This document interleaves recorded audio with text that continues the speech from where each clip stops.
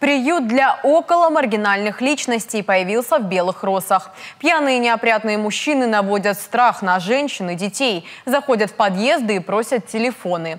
Как удалось открыть такую гостиницу и могут ли жильцы избавиться от неприятного соседства, разбирался наш корреспондент. У вас хостел там на углу. Скажите, кто там живет? Не знаю, какие-то бомжеватые люди.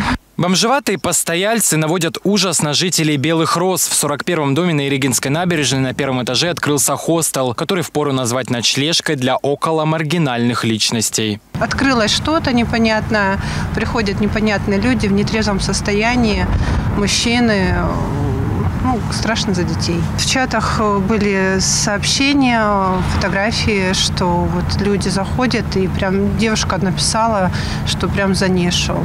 Зашел он за девушкой в лифт и спросил, на какой этаж она едет, однако сам кнопку не нажал. Всю поездку подозрительный спутник стоял и пристально разглядывал жительницу, а потом вышел за ней.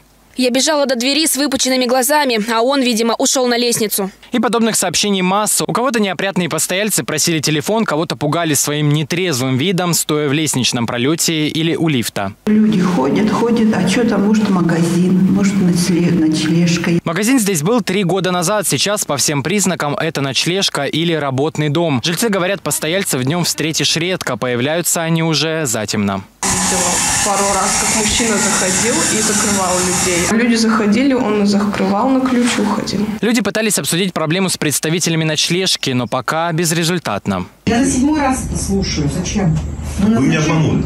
Я вас обманула. Или, или, или вы меня как недоинформировали? Сотрудники ночлежки, по примеру своего руководства, общаются неохотно и отрицают, что их постояльцы кому-то мешают. Ну, здесь просто хостел все.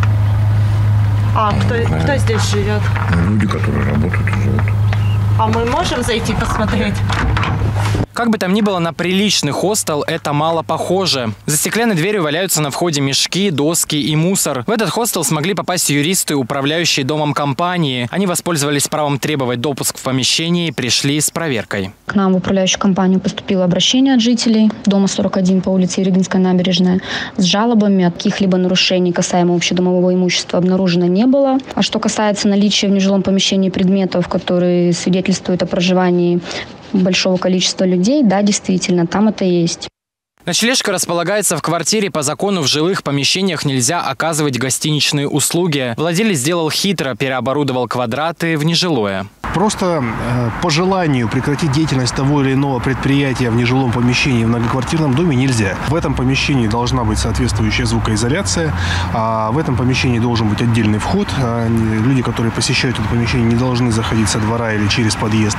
А в этом помещении также должны быть предусмотрены все необходимые меры пожарной безопасности. Одно условие – отдельный вход владелец выполнил, а вот соответствуют ли требованиям остальные пункты пока непонятно. Поэтому жильцам следует обратиться в надзор надзорные органы, Роспотребнадзор и прокуратуру. Елисей Савлюк, Виктория Мартоник и Дмитрий Комаров. Седьмой канал.